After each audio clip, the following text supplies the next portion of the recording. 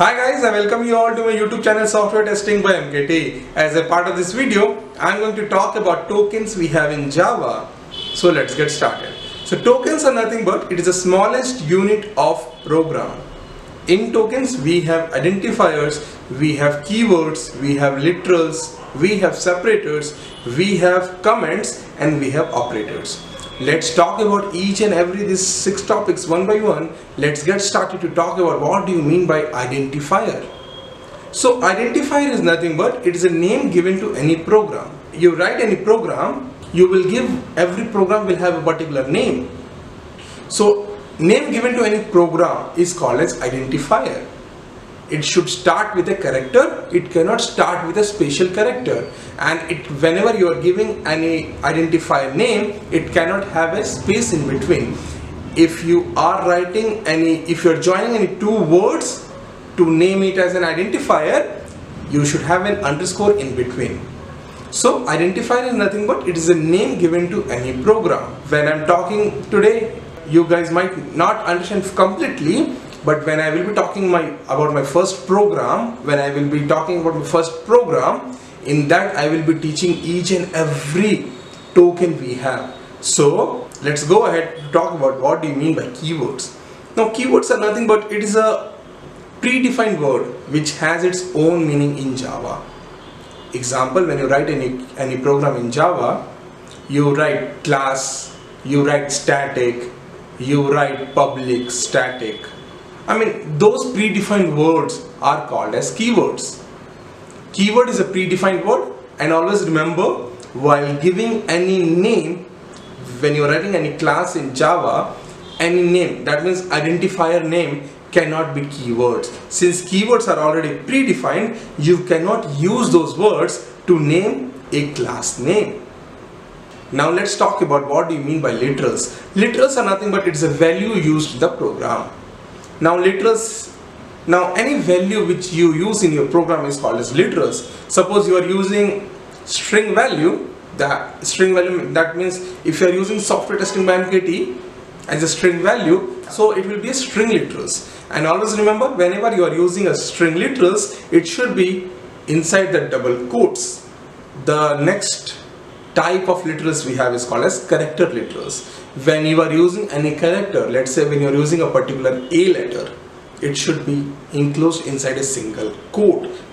So any character which you use in java should be enclosed inside a single quote is called as character literals. We have more types of literals which is called as numeric literals.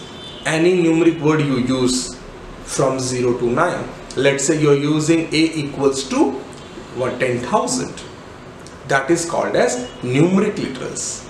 And we have fourth type of literals which is called as boolean literals. Boolean literals are nothing but true or false. So if you use in your program these true or false it will come under literals which is called as boolean literals. Let's move ahead to talk about what do you mean by separators. Now separators are nothing but it is used to separate the code in the program so separators are different types. Under separators we have multiple types. We have braces, we have semicolon, we have colon, we have bracket, we have parenthesis. These all are comes under your separators. Let's move ahead to talk about what do you mean by comments. So under comments, so comments are nothing but it is used to give an additional information while writing a program. When you are writing a thousand code of line, sometime after writing a particular logic, in front of it you write the comment. The reason you write comment is because tomorrow if some engineer is coming in place of me, he should be under he should be able to understand what is the logic I have written. For that sake, while writing a particular logic, you write the comment in front of it to make people understand what exactly you're trying to do. So in comments we have two types that is single line comments and block of comments. Single line comments is used to comment a single line means you have written a single line code and in front of it you are writing the comment. How you are writing it? By putting a double forward slash and then you're, you're entering your whatever you want to write. And we have another type of comment which is called as block of comments. So block of comment is used to write something within, within the few number of lines of quotes. So it always comes under forward slash asterisk.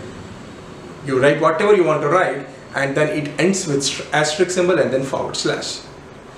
Within the forward slash asterisk and ending with asterisk and forward slash, whatever you write inside that will comes under your block of comments. Now the next type of token we have in Java is called as operators. So operators are nothing but these are the symbol which is used to operate on the operands. If you write 6 plus 2, your plus symbol is called as operators. Your 6 plus 2, your 6 and 2 are called as operands. So under operators we have different types we have arithmetic operators, we have assignment operators, we have bitwise operators, we have conditional operators, we have logical operators and we have relational operators. All these operators comes under your operators token. So this is all about token. I hope this video was useful to you guys. If yes, please give a thumbs up to this video subscribe to my channel software testing by MKT and please share this video with your needy friends. If you have any doubt, list out all your doubt in the comment section. I will be answering. If you think anything which you have not understood, I am giving a promise that when I will be making my next video, when I will be making my first video of first program in Java, that time I will be talking about each and every token in depth. Till then, stay tuned.